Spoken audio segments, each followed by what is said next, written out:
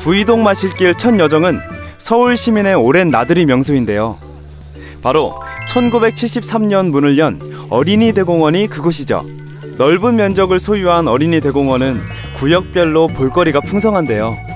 맹수부터 조류까지 아프리카 초원을 옮겨놓은 듯한 동물원은 단연 으뜸입니다. 동물원과 쌍벽을 이루는 놀이동산은 2년 전 새롭게 단장했는데요. 스릴과 재미를 동시에 잡을 수 있죠.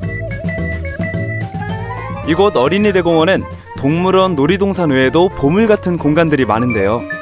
그중 할머니의 이야기 보따리를 닮은 곳이 있습니다.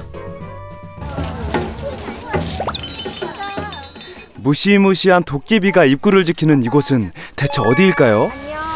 반가 반가 반가 반가 어린이 대공원 한쪽에 자리한 전래동화 마을.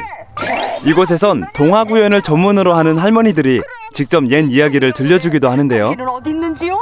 우리 친구들 이야기에 쏙 빠진 듯한데요. 어떻게 남자가 아이를 낳느냐? 이야기를 술술 풀어놓으시던 어르신.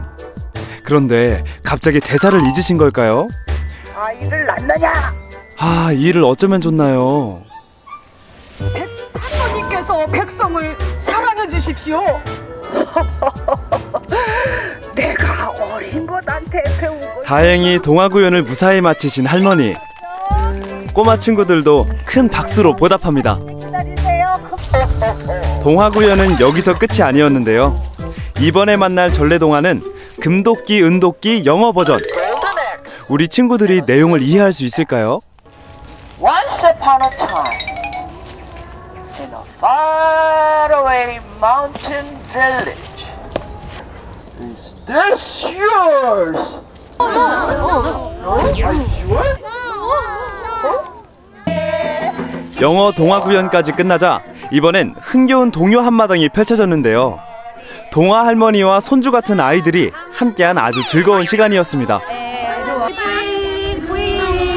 저는 그냥 봉사 차원인 줄 알았는데 어쨌든 전문적으로 하시는 분도 나오셔가지고 전 되게 좋았어요. 아, 나이 드셔가지고 그냥 집에 계시는 것보다 이런 걸 배워가지고 하신다는 게 너무 좋고요. 아, 나도 하고 싶어졌어. 어머니도 어. 오늘 아이들에게 멋진 이야기를 들려주신 동화 할머니들이 궁금해졌는데요. 음, 지- 지금 연세가 어떻게 되세요? 일곱이요. 6학년 일곱 살. 나는 제 삶에 이거를 하고 나서부터 힐링을 받아요. 그리고 아이들하고 막 이렇게 접하고 나서는 내가 아주 젊은 기운을 있는 대로 받는다니까요. 어, 애들도 좋아하고요. 우리 딸도 오늘 사진 찍으러 와주고. 엄마의 그 여가 활동을 하고 계셔서 되게 즐겁게 사시는 것 같아서 자식 입장에선 되게 좋아요. 보기가 좋으세요. 동화 속 장면을 옮겨놓은 전래동화 마을. 이곳에선 할머니의 무릎에 누워서 듣던 정겨운 이야기를 만날 수 있습니다. 예로부터 어린이 대공원 자리는 풍수지리적으로 길한 땅으로 여겨졌는데요.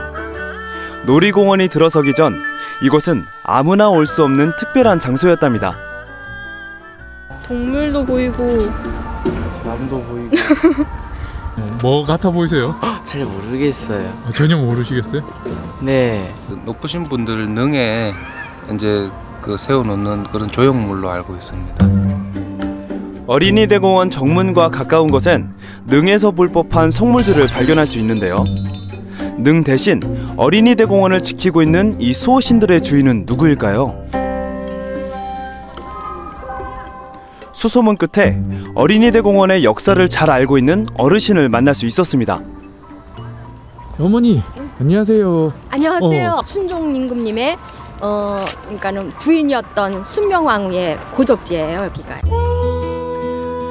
조선의 마지막 임금 순종의 정비였던 순명효 황후는 33이란 이른 나이에 운명을 달리했는데요. 처음 황후의 능은 어린이 대공원 자리에 있었는데요.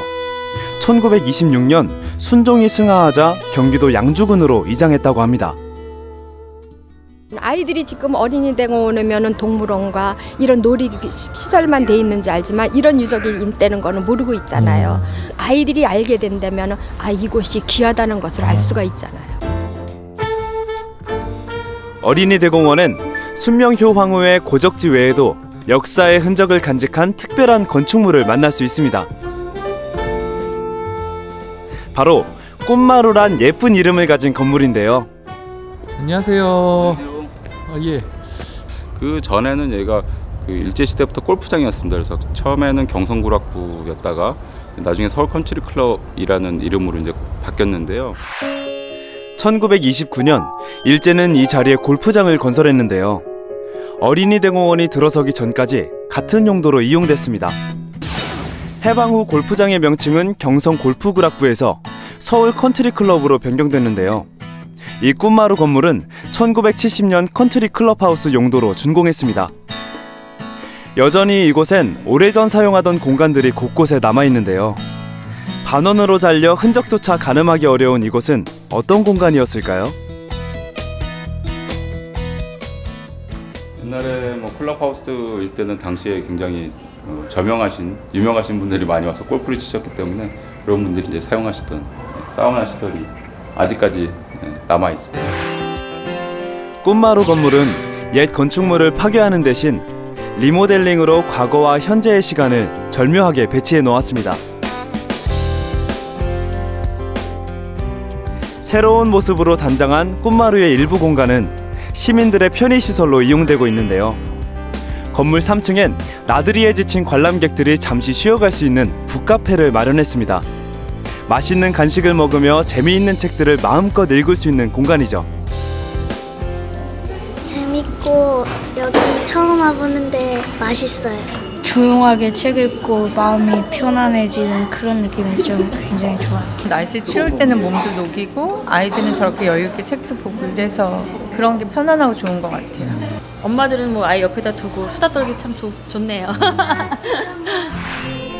어린이 대 공원을 둘러보다 잠시 휴식을 취하고 싶다면 과거와 현재의 시간이 멋진 조화를 이룬 꿈마루에 들러보는 건 어떨까요?